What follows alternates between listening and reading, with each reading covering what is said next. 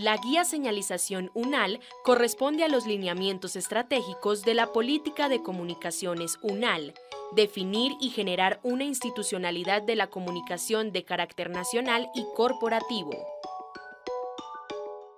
La señalización es un aspecto importante del, habitar de, los espacios y, y del vivir de la comunidad.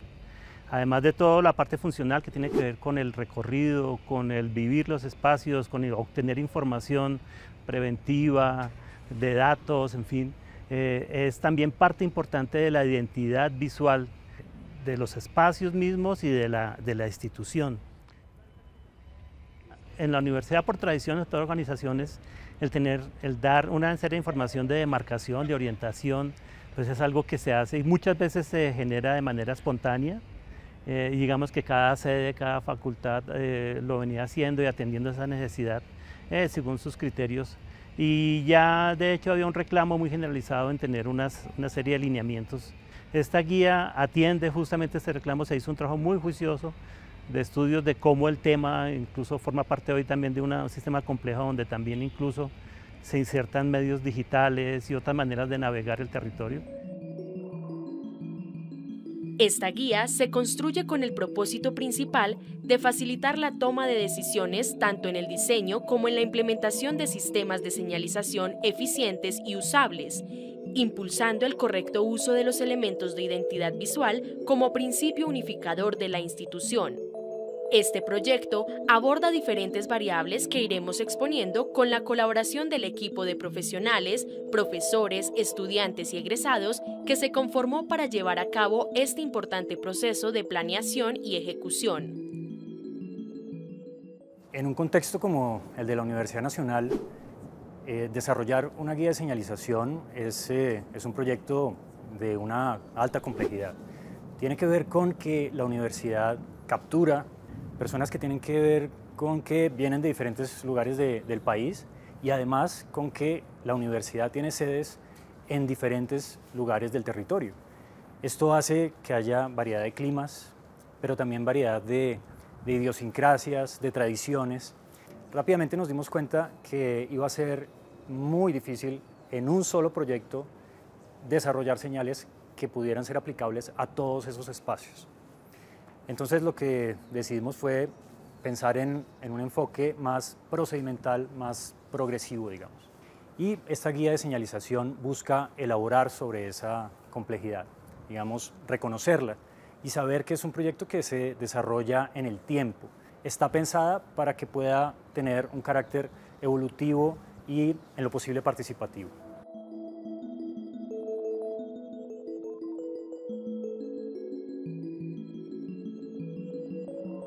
Después de una etapa de investigación y análisis, el equipo determinó conceptos claves a tener en cuenta en el desarrollo de un proyecto de señalización. En diseño gráfico, eh, la legibilidad es un concepto clave. Eh, siempre que uno hace casi que cualquier cosa, es súper importante porque casi todo lo que uno diseña en diseño gráfico tiene tipografía o está pensado para leerse. Fue un concepto muy importante, especialmente en la señalización, porque estamos hablando de letras que se ponen en eh, ambientes normalmente verticales, eh, en el exterior, entonces hay unas condiciones de iluminación también ahí que son variables y, un poquito complejas, pero sobre todo la distancia es como un tema ahí eh, un poco importante, ¿cierto? Para, para, que las letras se puedan leer donde está la persona y no en otro lado. Básicamente lo que hicimos en el equipo fue eh, justamente eh, tratar de llevar a un nivel lo más general posible cada uno de los principios de diseño que normalmente se tienen en cuenta para sistemas de señalización en espacios concretos y tratar de llevarlo a, pues al nivel más general posible, ¿cierto? Que es básicamente cualquier espacio, no un espacio en específico, sino cualquier espacio eh, y pues en rangos de distancia de lo más diversos, materiales completamente diferentes, eh, ambientes completamente diferentes en todos los lugares del país, pero que definitivamente eh, no era suficiente abordar de esa manera, teníamos que abordar, abordarlo desde el punto de vista de las, de las jerarquías visuales, qué cosas son más importantes que, que otras, eh, y desde las retículas tratando de organizar todo el espacio, nuevamente espacios eh, de, un carácter que todavía no, no, conocíamos, para que la información se entendiera eh, correctamente.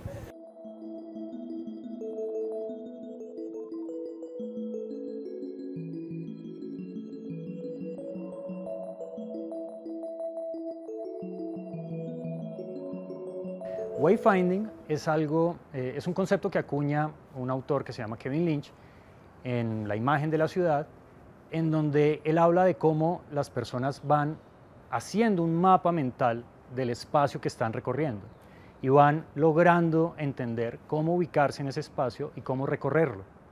Esa noción de la ciudad, la idea es que se aplica a unos espacios más acotados, a edificios o a nuestros campus, para que la gente se pueda ubicar en esos lugares.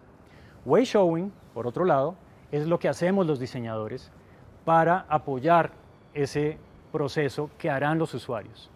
Entonces, los diseñadores generaremos una serie de señales o de claves en el espacio que podemos ampliarlo de señales a una especie de gráfica ambiental, de gráfica experiencial, si se quiere, para que las personas logren identificar cómo poder aproximarse a ese destino a donde necesitan llegar.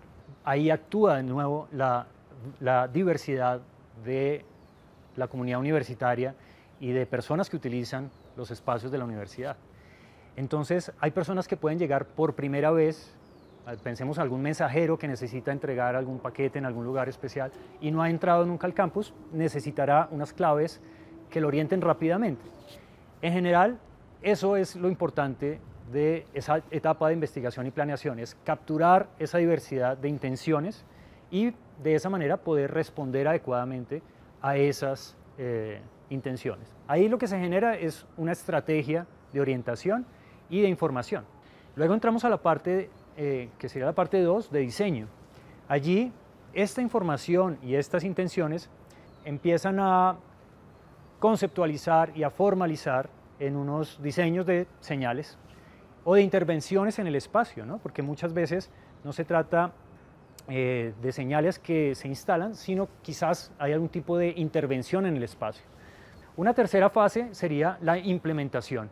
Y allí es muy importante porque esto implica el trabajo con proveedores, con personas que puedan materializar esos diseños que salen del proyecto de, diseño.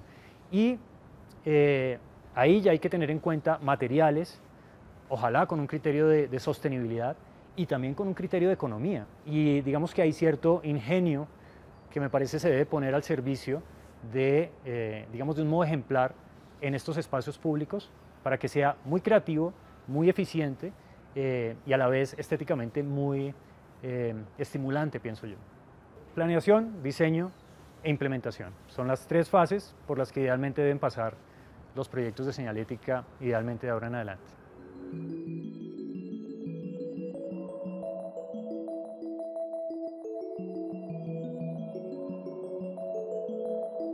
Siempre se tuvo como lineamiento generar procesos de diseño que responden a las condiciones y necesidades particulares, en el marco del correcto uso de los elementos de identidad institucional, la diversidad y el respeto por el medio ambiente. En el marco de la complejidad y diversidad de la Universidad Nacional, eh, vimos necesario crear una herramienta útil para la definición de parámetros de diseño eh, para sistemas de señalización. Que estos parámetros pues, fueran modificables según las necesidades y los requerimientos de, pues, de cada sede y de cada entorno. Eh, y que la identidad de la universidad se viera sobre todo por los elementos básicos de composición. Por otro lado, eh, se generaron también un sistema de pictogramas eh, que fueran acordes con el lenguaje, eh, el, lenguaje gráfico, el lenguaje de formas de las tipografías que ya, que ya existían, que ya se hicieron para la universidad.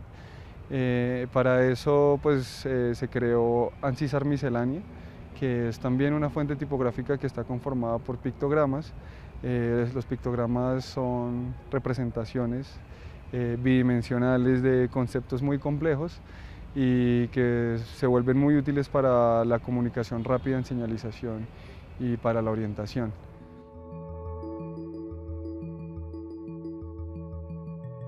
En el desarrollo de la guía se describen elementos de diseño que son parte de la identidad visual institucional y de la señalización, acompañado de directrices con el propósito de dar una serie de consideraciones para el uso y aplicación de estos elementos de manera que contribuyan a la comunicación y la orientación.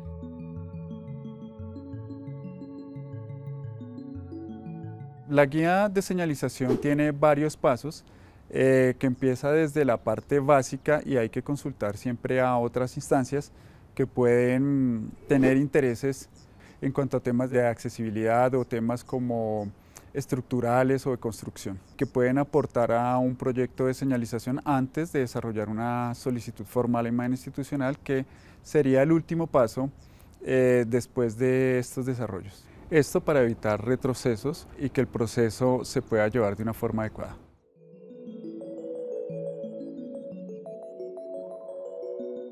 ¿Qué importancia tiene esta guía para la institución y cómo espera afectar sus procesos? La importancia de la guía de señalización UNAL es completa y absoluta. Hace parte de los lineamientos de identidad también de la universidad y pues genera una importancia plena en todos nuestros procesos de comunicación. Ahora tenemos un sistema unificado que tenemos que abordar. Se necesita un trabajo profesional y multidisciplinar tanto en el diseño industrial, en el diseño gráfico, en el tema de manejo de materiales, de dónde los voy a poner, etcétera, etcétera. Es decir, cuando sumamos estos retos, que es un poco lo que nos va a cambiar en los procesos, tenemos que acompañarnos de un equipo multidisciplinar, profesional, que sepa de todas estas cosas y que desde Unimedios vamos a estar eh, asesorándolos en términos de imagen institucional bueno, esta guía de señalización forma parte de un sistema complejo de la identidad de la universidad. De hecho, elementos como los elementos tipográficos, el diseño de pictogramas, forman parte del sistema de identidad visual, la fuente ANSISAR, y una serie de herramientas que ya están disponibles para toda la comunidad en el desarrollo de sus piezas de comunicación. Ofrece además de, una, de unos elementos muy concretos en el uso de tipografía distancias, una serie de información adicional sobre temas como la legibilidad, la lecturabilidad, eh, de información amplia sobre cómo afrontar un, reto de señalización y de marcación. En ese sentido también, además de esta parte, digamos, de alguna manera instrumental y de guía, ofrece también una, información que a los proveedores y a los profesionales que vayan a desarrollar proyectos eh, para la universidad, eh, herramientas para tener en cuenta y que aporten pues, de tomos al sistema de comunicación de la universidad.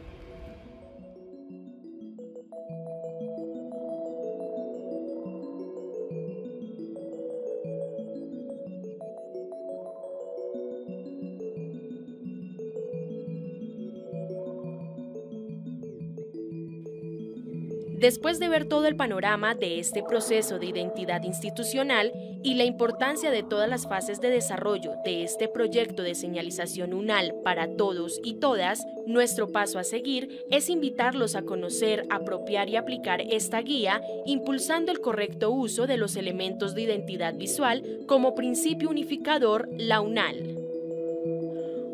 Juntos construimos la imagen UNAL.